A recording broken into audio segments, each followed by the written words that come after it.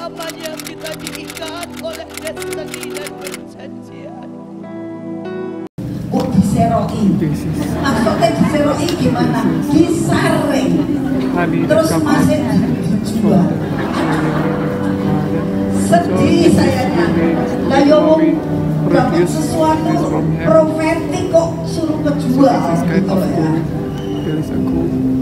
ini adalah anugerah Tuhan. Amin. Jadi saya berdoa buat saudara yang nggak dapat, yang nggak dapat penting itu nanti yang terakhir apa yang Tuhan mau. Saya mau sampaikan kepada saudara adalah begini. Semua yang Tuhan akan anugerahkan kepada saudara itu adalah sesuatu hal yang jasmani, yang daging. Dan firman Tuhan katakan, yang daging tidak dibawa pulang. Begini, Yesaya 34 ayat 26 Tuhan Yesus katakan begini ini Tuhan Allah Yahweh yang berjanji Ya. Allah Yahweh akan menjadikan mereka dan semua yang di sekitar gunung Allah Yahweh menjadi berkat Allah Yahweh akan hujan pada waktunya. Itu adalah hujan yang membawa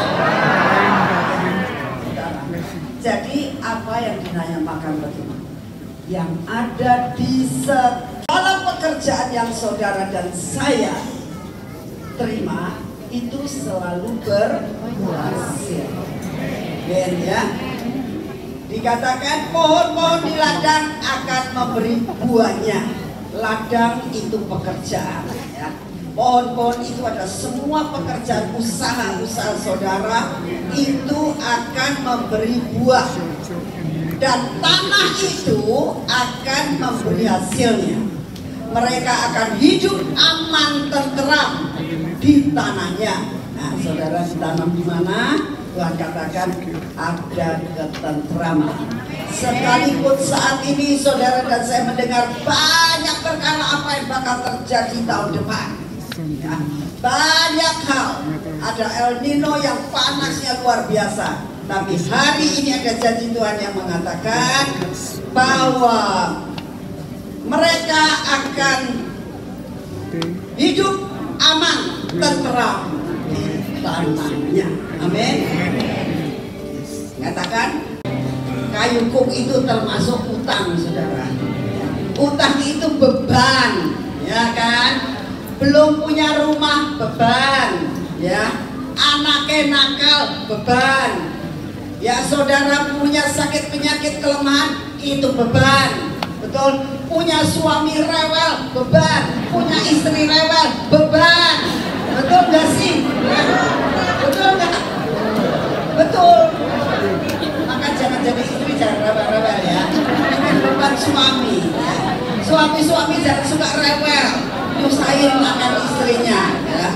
jadi itu itu kok dan hari ini Tuhan jadikan kuk itu akan dilepaskan.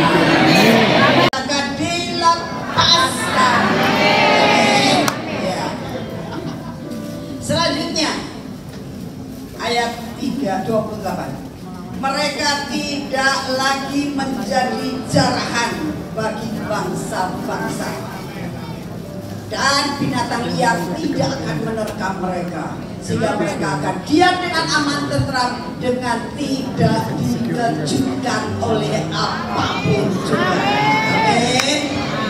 Tuhan kata bagi saudara dan saya suatu apa? Taman apa taman Tuhan atau taman apa? Taman kebahagiaan. Amin. yang mendirikan siapa? Jadi bukan usaha saudara kan? Yes. Bukan usaha kita. Tuhan akan memberikan suatu anugerah didirikan dalam keluarga kita, dalam kehidupan kita, suatu yang dinamakan taman kebahagiaan. Begitu kita masuk, wow, hatiku kok bahagia banget ya. Dan itu akan di diberikan buat saudara dan saya. Amin.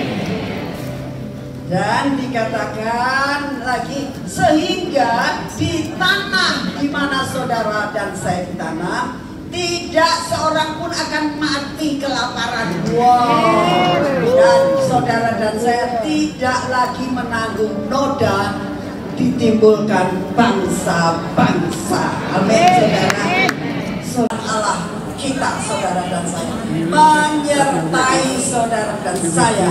Saudara dan saya kaum Israel secara rohani adalah umat Tuhan. Demikianlah firman Tuhan. Amin. Ayat 31 ayat terakhir. Saudara dan saya adalah domba-domba Tuhan. Domba gembalaannya Tuhan. Dan Tuhan adalah Allah kita. Demikianlah firman Tuhan